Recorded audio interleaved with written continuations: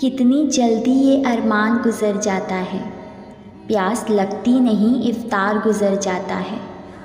हम सब गुनहगारों की मगफ़िरत कर अल्लाह। इबादत होती नहीं और रमज़ान गुज़र जाता है।